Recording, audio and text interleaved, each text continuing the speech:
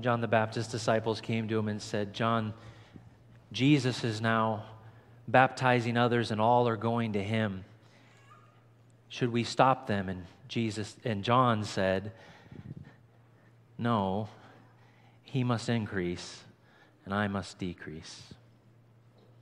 Lord, I too add my prayer uh, to what Mark has already shared with us, and I just ask, Lord, that I would decrease and you would increase as we take this moment to study your word. We pray in Jesus' name. Amen. We've been going through a series on the Bible called Your Bible and You, and uh, using different metaphors in the scriptures and looking at how those illustrate the principles of the Bible. Um, and ask, where's Toby? Can you and usually I, I look at Jaden, so I'll have you guys help out in just a minute. Uh, we've gone through uh, several um, metaphors already, but this has been our key passage from 2 Timothy. Be diligent to present yourselves approved to God as a workman who does not need to be ashamed, accurately handling the Word of God. Did you bring your sword? Are you holding it today? Trying to remember to mention it? Bring your Bible to church. Keep your sword handy. Um, I think it's a good practice for us to include our personal scriptures when we worship. We want to be faithful to what we're told here in Timothy to be diligent, accurately handling the Word of God. Last week, when we talked about the light of heaven, I illustrated how God brought us the Bible. I did it quickly, I realize it, and why it's problematic when God tries to directly uh, speak. Uh, throughout the scriptures, we see that that is a challenge. So he used a different method of uh, speaking through a prophet who wrote it down. That copy was then maintained until it eventually got translated, and then it came to the place where it's in our hands now. But how do we get it from here to here? That's, that's this part called illumination, and that's what we're going to talk about today. How does God get, after all of the history and all of the work that God has done to get this here, it is of no value if it stays here. It's got to get from here to here. It's got to get from here to here. And that is the next miracle. That's the next metaphor that we're going to spend time looking at. We're going to have the kids help us today. We're going to have uh, the kids help us. So, a couple of questions to get this metaphor going. Who was told, by the sweat of your face you will eat your bread? Who, who was told that in the Bible? By the sweat of your face you will eat your bread.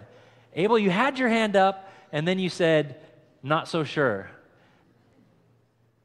All right, I see Benji. Come on.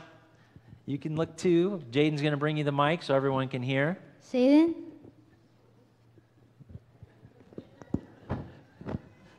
What are we teaching these kids in Sabbath school today? I'm just a little nervous right now. Did you say Satan? That would be no, it wasn't Satan, but uh, I appreciate the creativity. Anyone? Come on. I know there's only so many young people. It's Labor Day weekend. Some are traveling. All right, right here, Toby. What's your name? Say, say it in the mic. Ashton. Ashton? So who are we talking about? Judas. Not Judas. Okay, I'm going to give you a. Oh, okay. Leah or AB? All right, Leah. Adam. Okay, thank you. We took an academy student to get us there. I, I, I, guess we're, we're getting better. Yeah, this is after sin, okay? This is after Adam and Eve. We talked about God directly wanted to come and talk to Adam and Eve, but because of sin, they hid themselves, and God has to uh, explain the consequences. Now, notice this is sometimes we get this mixed up. This was not a curse. Some people say, oh, when Adam and Eve sinned, God cursed the woman with pain in childbirth, and God cursed the man by having to work to bring in uh, the food. That's not what the Bible says. God cursed the serpent and he cursed the soil. The consequences that he gave for their actions were woman was to experience pain at childbirth, and man now had to work the soil to bring back uh, to bring uh, the bread to, to the family table. These were not curses. These, these were God's way of saying, as a result of sin, you need to understand my plan to bring redemption. Okay? This was not to just be punitive, there was a redemptive process in this. But notice, uh, God said, You're going to have to sweat. if you're going to get your bread. You're going to have to work for it. All right, what did the Israelites call the bread God gave them in the wilderness? Okay, Benji, you're going to redeem yourself now. I love it. Manna. Okay, he got it. All right, Benji, yes, we're doing better. Appreciate it. They called it manna, right? And in the same way, God did not bring that manna by DoorDash right to their tents, okay, and say it's all hot and ready, just open it up and enjoy. They had to go out and get it every single day. As a matter of fact, if they got too much, it wouldn't last the next day. It would evaporate, it would go away. It was this miraculous moment that God used this process. On Fridays, they were able to gather twice as much because God said, On Sabbath, I want you to enjoy spiritual bread. You don't need to be out there gathering the physical bread. But once again, it's illustrated if you want the bread, you got to get it. You got to work for it every single day. This principle is throughout the Bible. Number three, fill in this passage. Let's see if any of the young people can help us out. I'm keeping an eye out. I know where you are. This is from Jeremiah. Your words were found, and I did something to them. And your word was to me joy and rejoicing in my heart. What, what word is missing there? What did Jeremiah do with the word when he found it? Nico, let's hear it. Did he eat it? Oh, first off, you could have said he read it, he heard it, he memorized it, right? But that's right. Jeremiah literally says, When I found your word, I ingested it, I ate it. And your word was to me joy and rejoicing in my heart. The interesting thing about this is Jeremiah 15 is not a happy passage. Jeremiah is aware of the judgment of God on Israel, that Israel is about to go into captivity, that there's going to be a major slaughter, that all things were going wrong. And in the midst of this great turmoil, he even talks about pain that he's experiencing for the understanding of the, the judgment of God. In the midst of that, he said, But I still found your word.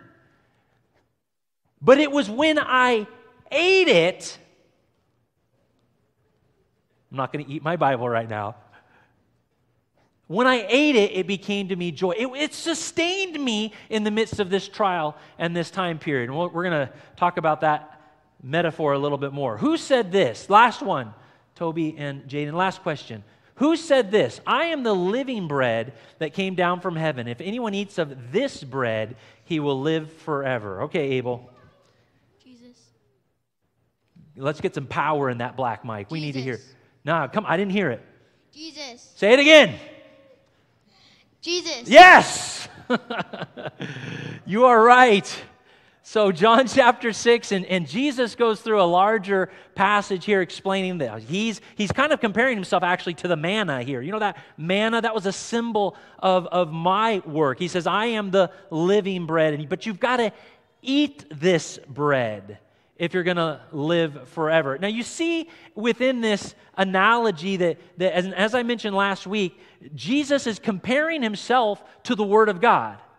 All right? He's, he's comparing himself to the Word of God. And I, I mentioned uh, this reality last week, but I want to put up uh, some ad- additional statements about how the same reality that existed in the person of Jesus Christ, that he was totally God and totally man, yet without sin, that same reality exists within our Bible. There is a mixture of God and man in this, but because of the power of God, the, the man part is not in error, all right? We shouldn't be afraid of that. So, a couple of statements here. The Bible, with its God given truths expressed in the language of men, presents a union of the divine and the human. Such a union existed in the nature of Christ, who was the Son of God and the Son of man.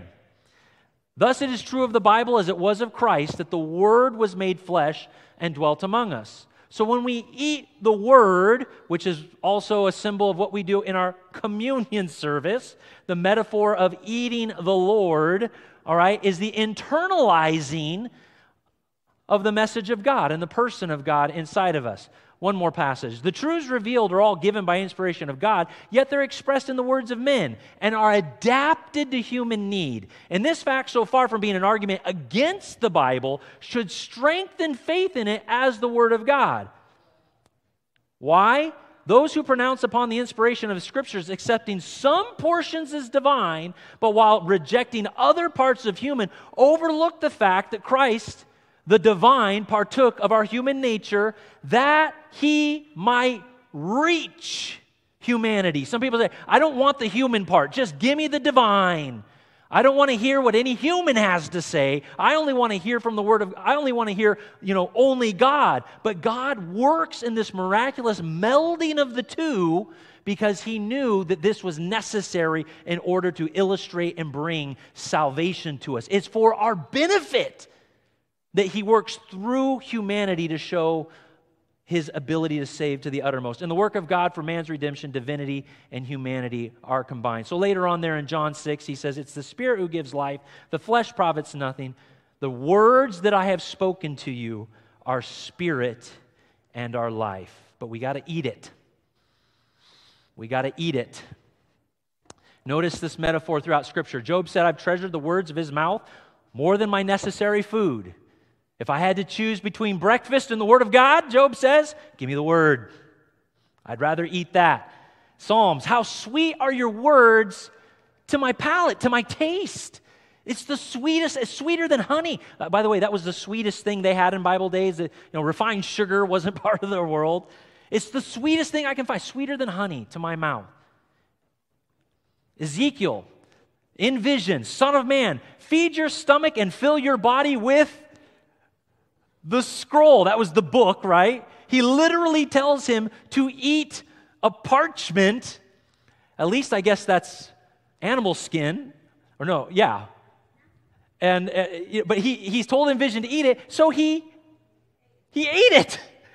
He ate it. And John does the same thing in the book of Revelation. He eats a scroll that God gave him, and God instructed him to eat the scroll. They, they envision, I don't know how you know, much God manifested the reality of these things in vision, but Ezekiel did it. He eats the scroll, symbolizing the ingesting and the taking inside of the Word of God. And this is the most famous one of all. I saved it for last. Jesus, the very first temptation that he experiences in the wilderness is Satan saying, Hey, make some bread. You're hungry. You're famished. You've been fasting. What's wrong? You're the Son of God. If you're the Son of God, make some bread. And what does Jesus say? It is written, Man shall not live on bread alone, but. Oh, how am I not in the Word of God? Yes, I heard it through a variety, but on every word, every word every word that proceeds from the mouth of God. And notice this reality. Jesus says, It is written that we are to eat every word from the mouth of God. He equates these. If it's written and is of inspiration of God, it is therefore from the mouth of God, and every word of it is for your benefit every word. Man does not live on bread alone, but on every word that proceeds from the mouth of God. So, if we're going to have a vibrant spiritual life, we need to be eating our bread.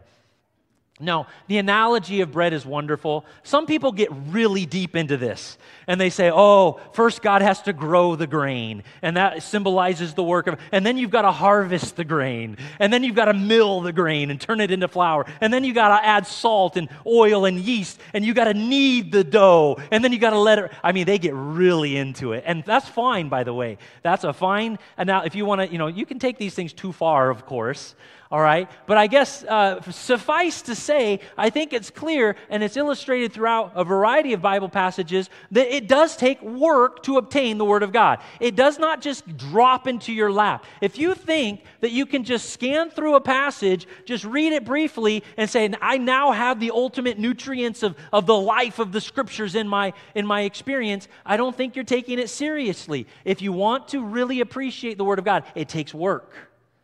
It takes study, it takes effort because the blessing is found in this was God's solution to sin. When he told Adam by the sweat of your face you're going to need to bring in your bread it was God saying this is the plan of salvation. You're a sinner now. If you want to be redeemed you need it. now not that we're saved by works let me be clear okay? God is still the one that does it but he creates the conditions by which we can appreciate his work of salvation for us which is the work that it takes to obtain the bread. Bread is a mixture of God and man. It is God who makes the wheat, All right, we didn't make it. The, the, the sun and the rain and the miracle of God makes it grow. But man has to take it and process it, put it in the oven and make it grow. It is a mixture of the blessings of God that He provides and our ability to transform that blessing into the meal that we're about to eat. It takes process and patience. It must be broken down. Notice many times when it says that they ate bread, it says they broke bread together. All right? The bread must be broken down and then you put it in your mouth and you chew it. You're breaking it down, and then it goes into your stomach and it's further broken down before it can feed your body. Okay? Thus it is true as we study our Bibles. This isn't just about bread, this is analogy of how we understand our Bibles. It takes work. It is a mixture of us working with the Holy Spirit that God would lead us to a proper understanding. There's a process to it. Sometimes it takes patience. Okay? It takes it must be broken down in order for us to, to feed the body. So these are all benefits to the study of the Word of God. It's not meant to inhibit our ability to understand. Some quick principles. Now, you can go and read different books and see that you can have 10 principles, you can have 20 principles. William Miller is famous for his 14 principles for Bible study, and they're all fine, they're all wonderful. They can get really theological terms like hermeneutics and exegesis and, and inductive Bible studies and things like that. That's fine, but I'm going to keep it a little bit more simpler for today's purposes. I'm just going to offer five basic principles if we want to really appreciate the bread that is the Word of God. First of all, what do you do before you eat? Don't we always pray? Do you, do you always pray when you eat? We should. We're supposed to give thanks, okay? Even if you're McDonald's by yourself, all right? You can still pray as you knock the straw, the wrapper off the straw. Lord, bless this meal. Hallelujah. And then you can eat, right?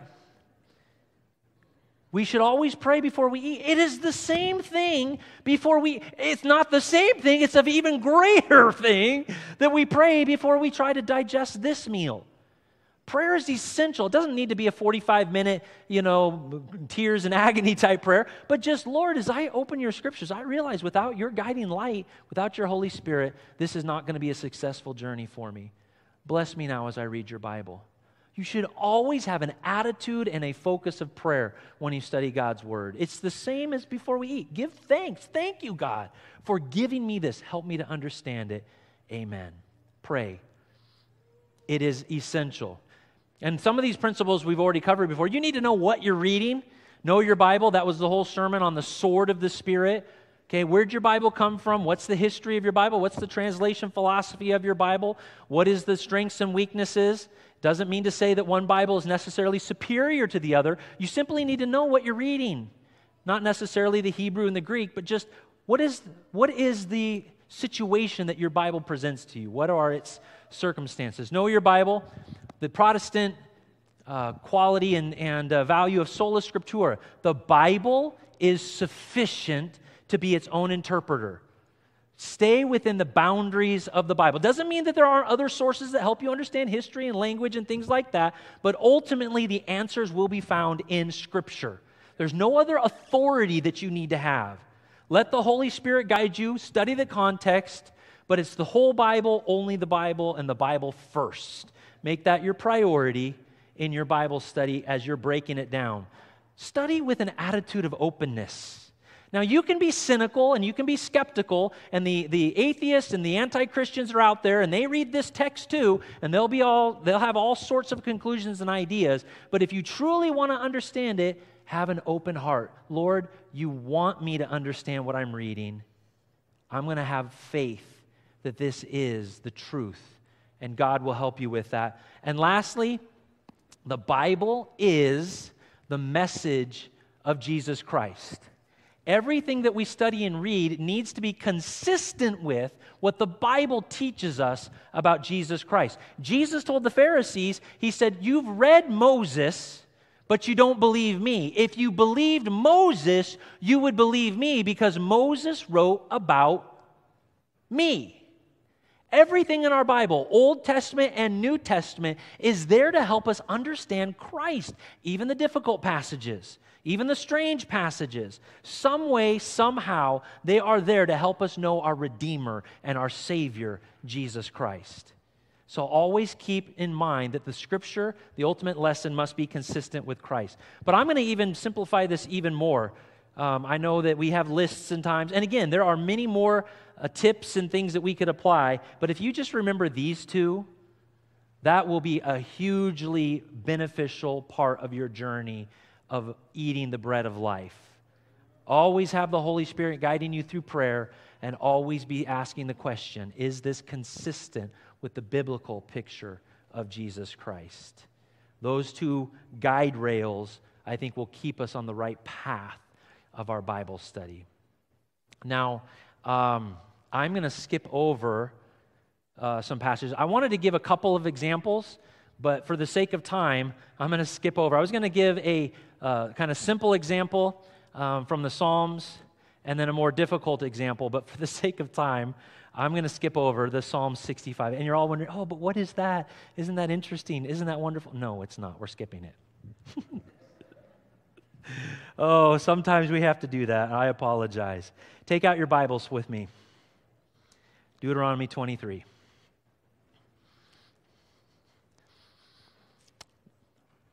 We're going to wrestle with a passage. I want to illustrate one way that we can partake of the bread of life together when we study our Bibles. We're going to look at a hard passage, a confusing passage. A passage is often misunderstood and can create a dilemma. And for this, again, for the sake of time, we're going to assume uh, that we've looked at certain historical and contextual uh, things so that we know what we're talking about. Deuteronomy, this is the time of Moses still. God has brought Israel out of Egypt and he's trying to establish them as a nation. He's trying to teach them about the sanctuary, about worship, and about the plan of salvation. We know that. He's given them the sanctuary, he's given them the civil laws, and he's wanting them to understand what it means to be a family of God. And then we get to Deuteronomy 23, and we're presented with a challenge.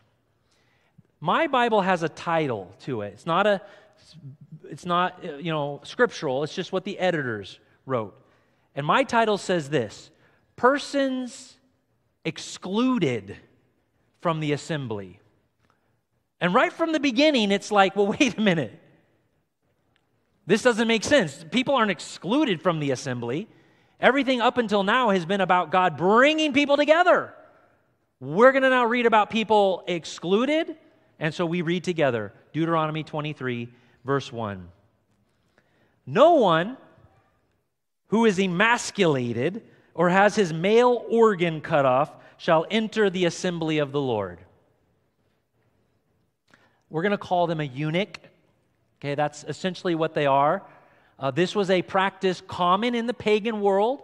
If you were dedicated to your king, and more than, more than likely dedicated to a female deity, often men, to show the level of their devotion to their female deity, would remove their ability to have intimacy with a human because they preferred to have spiritual intimacy with the female deity. Okay? So while it's not a practice common today, it was very common in the ancient world. They did a lot of grotesque things. And here, here Moses, or the Lord through Moses, says, anyone who's done that to their body, you're not going to be in the assembly of the Lord.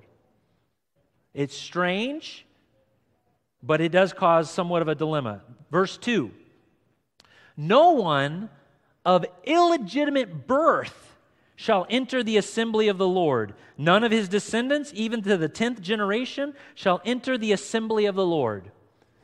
Now we're talking about those who did not have a pure marriage uh, relationship and they had a child. So you are talking about several types of illegitimate birth being born out of wedlock, being born of a harlot, or even if you were born where one parent was a believer and one parent was a Gentile, that would be illegitimate birth. Well, that's interesting. Who was Ephraim and Manasseh's mommy? Do you remember that story? Joseph was in Egypt Who did he marry again? Well, oh, that's right. He married a Egyptian. And not just any Egyptian, she was the daughter of a priest to the pagan gods of the Egyptians. So Ephraim and Manasseh would be, well, Moses, I got a question. You said 10th generation. Did we make it yet? Where are we at? Ninth? Are we at the 11th? But it can, it's a problem. What's going on here? Verse 3 No Ammonite or Moabite shall enter the assembly of the Lord. None of their descendants, even to the 10th generation, shall ever enter the assembly of the Lord. There's a little additional word there. Ammonite Moabites, these are cousins to the Jews, the, the sons of Lot through his daughters. Ammon and Moab, okay? They inherit territory east of the Jordan. And God gives some explanation for those. He says they didn't meet you on the way, and they hired Balaam to curse you, so we don't like them. So they don't get to be part of the assembly of the Lord. Now, there's some problems here. First of all, so you've got eunuchs, those of illegitimate birth, and essentially foreigners. You're not going to be part of the community. Now, the problems with this, uh, and, and by the way, we don't have time to go over, over every single thing. We're going to hit some highlights here. First of all, just this idea of exclusion versus inclusion. If you've studied your Bible at all, if you've read, it, it's hard to jive that. Aren't we to bring the gospel to all nations? Aren't all invited to experience the grace of Jesus Christ? What is going on here? Was there a time when that truth didn't exist? Was this some type, some type of Old Testament reality that God changed his mind about and said, well, wait a minute, I've rethought it. I guess we'll let the, the foreigners be a part? This is not consistent with the majority of the other biblical texts that seems to say that God is inclusive of all people. And also, why these three things? I mean, they're, they, they can present some tough issues of purity and things like that, but these pagans, they were also sacrificing their children. They also practiced a, a, a enormous grotesque practices. There was rape and murder and, and child killing they're okay to be in the assembly. But these ones aren't? What is going on? What let's just I tell you what. Let's just not read Deuteronomy 23. God must have made a mistake. That's how a lot of people interact. And I, want to say something else too. Now, you may not feel that these things are very uh, uh, uh relevant today, right? We don't practice you know, uh, male castration. Uh, you know, we don't do these things. We don't worry about this. But I tell you what, there are people who think that they've done things so grotesque in their past that God can't accept them. There are people who did not grow up in the church and they feel like they're outsiders and they don't feel like they belong in the church. And reading passages like this can create enormous confusion. Oh, I see that there are times when God says, if you've done something so terrible, you can't be part of the community. Oh, I see there are times when if you're, a, if you're an outsider and you don't understand what's going on, then you don't belong. So there are ways that the devil uses to apply these principles to people's struggles today. Lord, you, you can't accept me. I have done sins so terrible and I see in your scriptures that there are times when you can sin so badly that I'm no longer welcome in your community. So we ask the question what is going on here? What can we do with a passage like this? In addition to that, we're faced with some very significant, what appears to be inconsistencies. Think about this. Are there examples of people who are eunuchs or of illegitimate birth or foreigners who God did use and were part of the community of faith. Now, because you haven't thought about this in advance, you may have to think about it. But the answer to that question is overwhelmingly yes. Just a couple of books after Deuteronomy, there's a book called Judges. And in the book of Judges, there is a judge by the name of Jephthah. And Jephthah is specifically said to be the son of a harlot of illegitimate birth. And yet God raises up Jephthah to not just be part of the assembly, but to lead the assembly. He becomes chief of the Israelites and delivers them from their enemies. And yet he was born of illegitimate birth. And this is long before 10 generations have gone, by the way. Only about 300 years total of the period of the judges. And he's like eight or nine in the judges. Then, right after the book of Judges, you guys know your, your Bible. What's the book after Judges? Say it with confidence. Ruth? Is Ruth? Ruth! Say it. Ruth. Who is Ruth? She's a Moabite. She's a Moabite. She marries Boaz. So now you have an, a foreigner, a, one of the, the people specifically mentioned by Moses in Deuteronomy 3, marries Boaz. They have a baby named Obed. And then Obed has Jesse. And after that comes King David. So Ruth becomes great grandma to King David, which also puts her in the lineage of Christ. One of the forbidden people of Deuteronomy 23 clearly is used by God. And so you say, What? I don't, what, is, what are we talking about here? Then Isaiah 56. Let's not leave the eunuchs out, they've already suffered enough. Isaiah 56.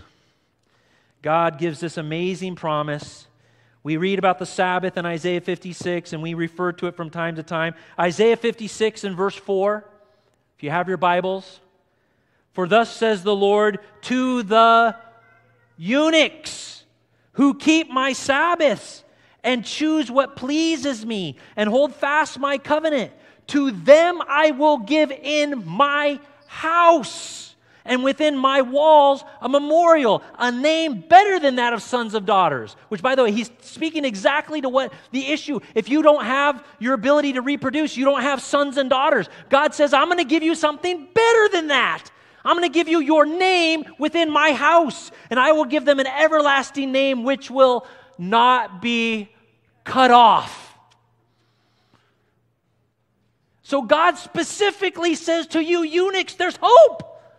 I'm going to bring you in. You're going to be part of my community. And we sit here and we go, what about Deuteronomy 23? It doesn't make sense. But that's Old Testament. One more time. Get your book, uh, your Bibles, and turn to the book of Acts.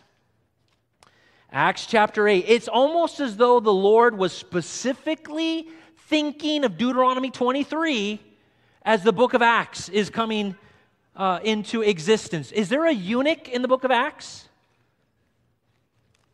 There is. There is. Acts chapter 8.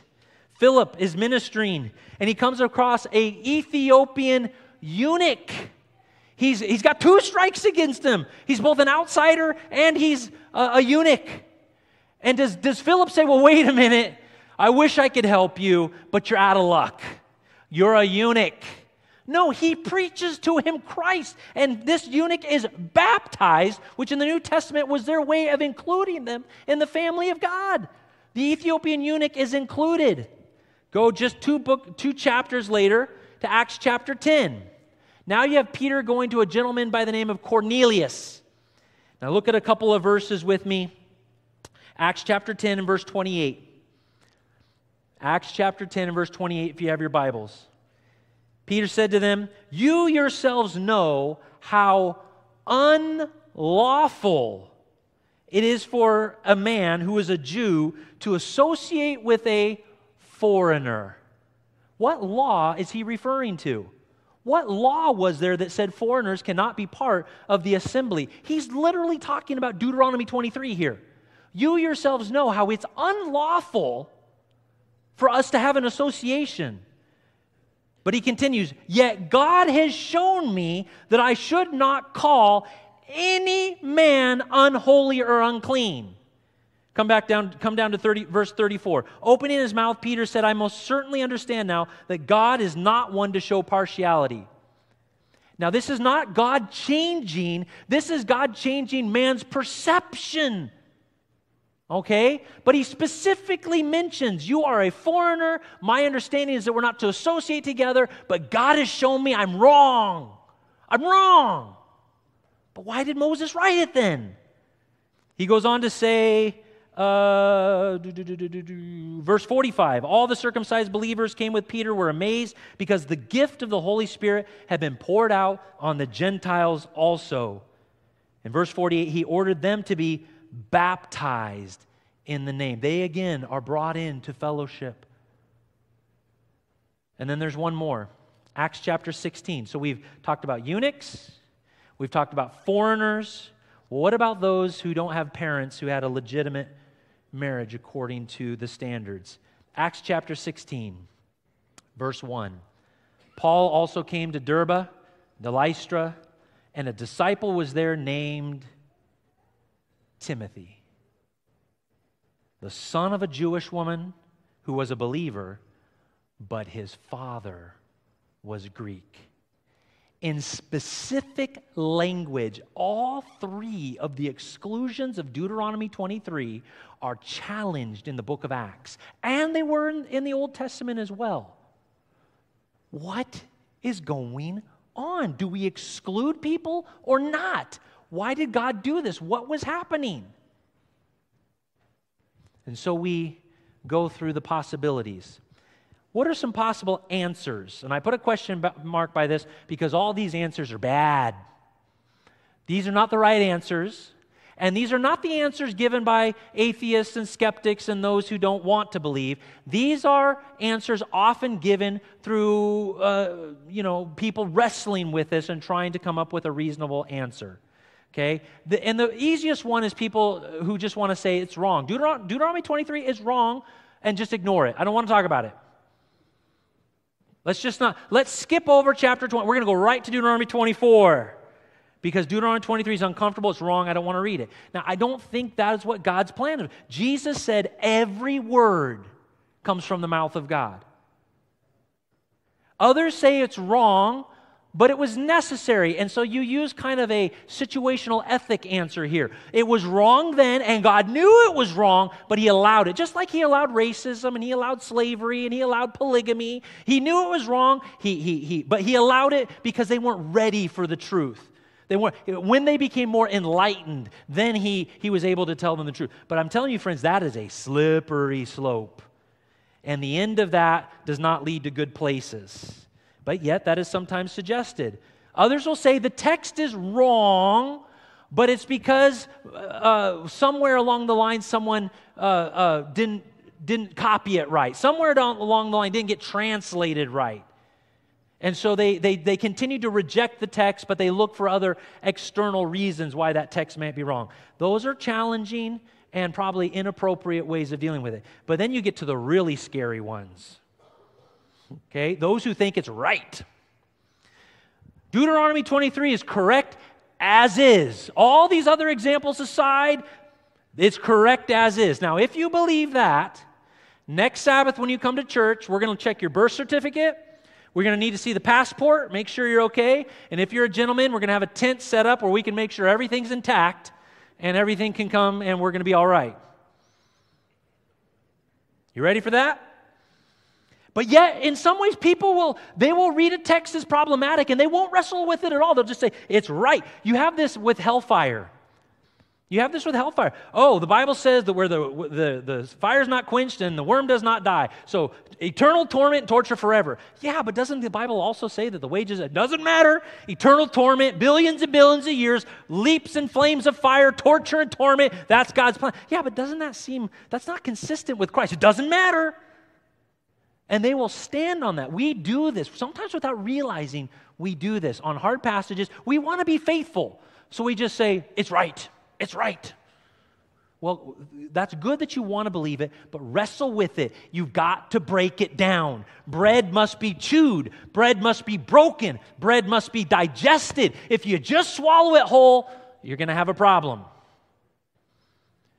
So we need to think about it.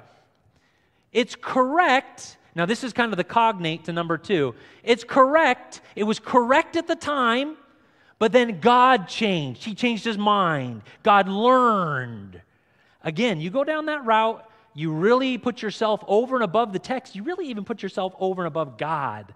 And yet, this is very common in different applications of Bible study. And then this one is really, really tough. People say it is right as Moses wrote it, and Moses believed it, and Moses wrote it the way he wanted, but Moses was wrong. God's not wrong, Moses is wrong. This is called the higher critical method or the historical critical method. And I know we have major, major advocates of it within the Seventh day Adventist Church. I, I would just appeal to you once you go down that road, you can say, well, Moses said that God flooded the earth, but, and Moses believed it, but Moses was wrong. And the Bible says that Jesus died on the cross, but we know people don't really rise from the dead, so he probably passed out. So when John said that, John was mistaken. He, we know better. And it says he rose from, he didn't really rise from the dead. We know better. Do you see where I'm going with that? This is a very, very dangerous road. So, all of these answers, which are common and sometimes without even realizing it, we do this. But we need to understand that they leave us with some serious problems. These answers do not suffice to understanding this situation. Now, some tips. Avoid the Old Testament versus New Testament solution. A lot of people just say, oh, that's Old Testament. We don't do that sanctuary thing anymore, and we don't do circumcision. That's Old Testament. We now have Jesus in the New Testament. I've already pointed out to you, both Old and New Testament create inconsistencies with Deuteronomy 23. And the two testaments don't differ. They wouldn't be testimonies then. They are two testaments of Jesus Christ. Paul told Timothy, You have known the scriptures, Old Testament scriptures, and they are able to make you wise to salvation in Jesus Christ. The Old Testament is an equal representation of the power and mercy of Jesus Christ, as is the New Testament. So don't go down the path of that lazy, oh, it's just, that's just Old Testament. We're not doing a justice to it. Also, beware of upside down pyramids. Have you heard this one before? You take a passage that is somewhat unique and narrow, and you make it your foundation, and then you pile up all the other evidence trying to balance it on that one text. People do this with alcohol. I'm using examples here. People do this with alcohol. There's a few passages in the Bible that you could possibly say are somewhat favorable to alcohol. Jesus turned water to wine. Hallelujah. Let's go to the bar. And Jesus told Timothy, drink a little wine for your, your stomach problems. All right, bring the kegger on. Jesus, Paul says it's okay. And they build an upside because there's dozens upon dozens of other Bible passages that say it's a problem. Don't do it. Noah drank and he ran around naked. Lot drank and he slept with his daughters. David tried to get Uriah drunk so he'd surrender his integrity. Solomon said, the wisest man ever, said, Don't look at the wine. It's like a viper seeking to strike you. Throughout the New Testament, drunkenness is forbidden and sobriety is commanded. But if you want to hold, and by the way, I relative people I love. They love Jesus Christ, but they no Jesus water to wine. Let's let's drink. And they build an upside down pyramid. They say all those other things I've got to balance on that one passage. All right? That is not a stable way of studying our Bibles. We need to let the breadth of information on a singular topic have its foundation, and then you put the other pieces in their place along the way. All right? By the way, if you want to talk more about wine, uh, we'll talk about that later. Maybe at potluck. and the last principle here always ask what did it mean before what does it mean. There was an original context, there was an original author with an original audience. And sometimes we are so unaware of the original context that we build our own modern context into it. And then we think we know what it means. And we've totally taken it away from its original meaning. Now, that doesn't mean God can't build contemporary meanings, but you have to at least start with what did it mean before we get to what does it mean. So, coming back then to the question does Deuteronomy 23 teach that there are circumstances by which there are people who will never be allowed to experience the fellowship of the family and by extension not be able to experience salvation? Does it teach that? Does that is that consistent with other passages of the Bible? No. No. There is no evidence in the Bible that God permanently condemns people for a singular act of sin, no matter how grotesque, either on their part or on their parents' part throughout the biblical narrative. Even the blasphemy of the Holy Spirit, friends, that is the sin of not allowing God to forgive you. All right? It is the sin of not allowing yourself to be forgiven. This is not the same thing. There is no evidence in any part of the rest of Scripture that God turns his back on someone because of a singular sinful incident or something in their parents' life that they had no control of. That is completely devoid of the rest of the breadth of Scripture that we have just reviewed. Let the eunuchs come. I'm going to raise up chiefs like Jephthah, and, I, and I'm going to bless Ruth. And all throughout the New Testament is completely inconsistent with that. So, are you ready? I had to write this down because I couldn't memorize it. Therefore, the limited application of passages like Deuteronomy 23 and the overwhelming evidence of allowances, exceptions, and exemptions in both Old and New Testament to the expressed exclusions suggests that the injunctions against certain external realities are limited in nature and clearly are indicative of a narrow context whereby such circumstances indicate that outward expressions consistent with carnal or sinful practices at that time and in that moment also signified inward compromises to pagan or idolatrous beliefs inconsistent with the values of the community of God. Hallelujah. I should have been a lawyer, I tell you. Did you catch it? Let me summarize it for you. They were excluded because they were still sinners. In that moment, in that context, those narrow realities in that very beginnings of the beginning of the, the, the, the, creation of the nation of Israel, those actions and circumstances illustrated that they were still connected to their pagan ideas. There is no indication that this was a universal reality that selected just these three situations to say you are no longer part of the community. Look at what Revelation says Blessed are those who wash their robes, that they may have the right to the tree of life and may enter by the gates of the city. Blessed are those who have been forgiven, cleansed, restored, redeemed, brought into the family. You are welcome. Heaven is for you. But there are people who are excluded.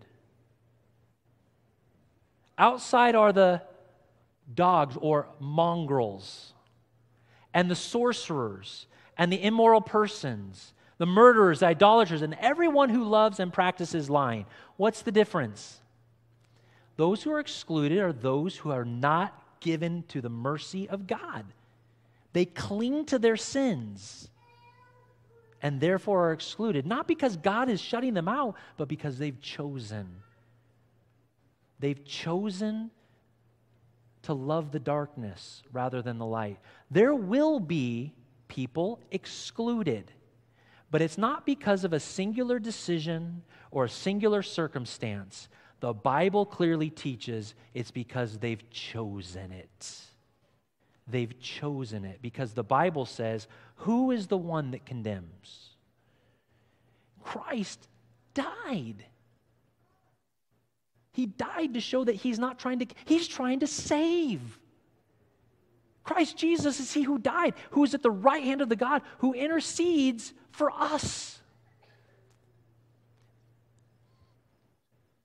Therefore, he's also able to save everyone forever, completely, total inclusion and restoration. He is able to save to the uttermost those who draw near to God.